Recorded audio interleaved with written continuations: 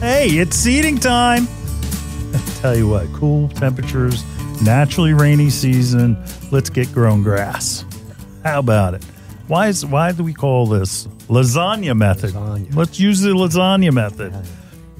I, I had a, I had a customer this morning before we came in the studio. He's grow, he's wants to grow grass. Has a little area.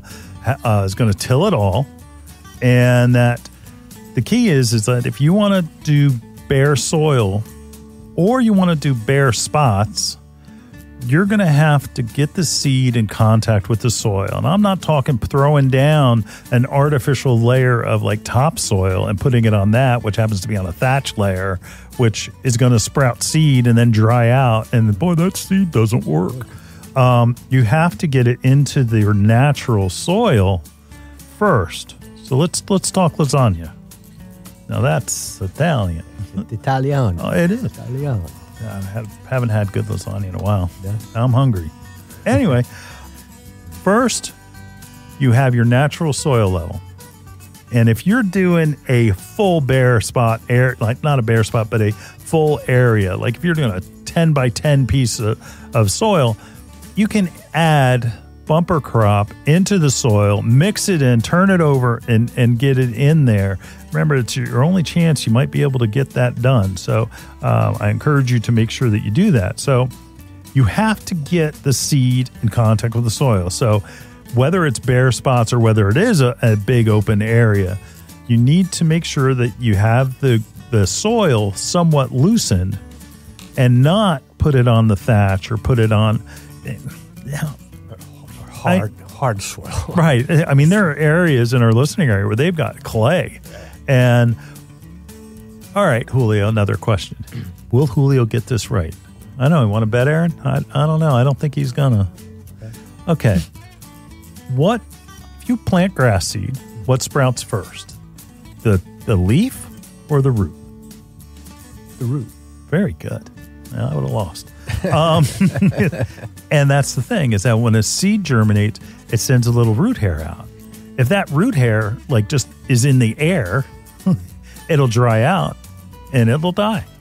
So it won't have that sustenance that it needs, the moisture that it needs, the contact of the soil to anchor in that it needs if you're just doing it over the soil. Now, granted, if you're overseeding your lawn when you're just throwing grass seed around on top of your lawn hoping that it works into the to the soil level your percentages of success is going to be limited but it's a heck of a lot easier than trying to till it all over and, and get it in there. If you do a thatch you got to make sure all that thatch is picked up and then you can put the soil on.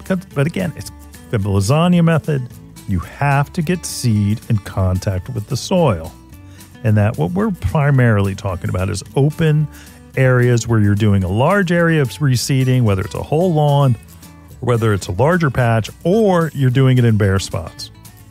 So you get down to your regular soil line, you go ahead and put the seed down, then you lasagna it on top with with the seed and more soil. Now you're going to use something like a cover, like bumper crop, is what we recommend. If your bumper crop is is better than so, than topsoil, just simply because it has more moisture holding ca- uh, capacity. It has lots of great um, elements from bat guano to worm castings to you name it. It's got everything but the kitchen sink that will add elements and nurture the seed that it can't get from just a bag of fertilizer. So it adds more to it. So again, soil, seed, soil. Soil, seed, soil. Also, putting soil on top of the seed will hide it from the birds because you don't want uh, grass seeds a little expensive to be feeding to the birds.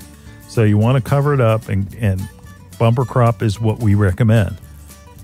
Then, last but not least, you want to apply fertilizer, a granular fertilizer. And look, whether it's your whole lawn and you don't do any seeding, or if you're just doing seeding in a small spot or a big spot, the analysis on the fall fertilizer bags are almost identical to starter fertilizers. Uh, there was a $5 difference today in the cost of your regular fall fertilizer versus your starter fertilizer. And that I suggested to the customer, hey, save the five bucks and go ahead and put down just a regular fall fertilizer. And then that way you're getting the elements that you need for everywhere. So again, it's soil seed, soil, fertilizer, and then one thing that people say, "Oh, but I'm walking on my new seed." That's okay. You're compressing it down and you're, you're pushing it down so that it's getting in good seed soil contact. And then remember, when you water, you got to keep it moist but not wet. You water it to the point you don't want it to run off and all of a sudden go down the, the storm drain. You want to keep it moist but not wet. So don't completely saturate it to where water is running off your lawn, but you want to keep it moist. So you're, you're going to have to do that because, like Julio and I talked about just a bit ago, if that seed germinates, sends out a root hair, and that root hair dries out, it's going to die. So you need to keep that soil moist so it sends out that root hair where it finds its way into the soil and then goes out. Anything to add, Julio? As far as the watering goes, Len, uh, you know, um, that's a that's critical right there because you know a lot critical. of people don't you know don't see that part of it. Nope. And, um, they, they, need to make sure that they don't overwater or underwater. Well, it's again, it's it's with seed. You know, I would almost favor, favor overwatering, overwatering than underwatering because underwatering it kills everything. So again, make sure that you're getting it moist, not wet. You don't want it to the point of runoff um, we're given a helping hand by the natural fall rainy season. Mm-hmm. And then guess what? We get another rainy season in the spring to help it to, to finish out. Um, again, do not put any weed, con- weed controls or weed and feed. Can't do that. So just keep water, regular fall fertilizer. You'll be made in the shade as long as you plant shade seed. That's right. right?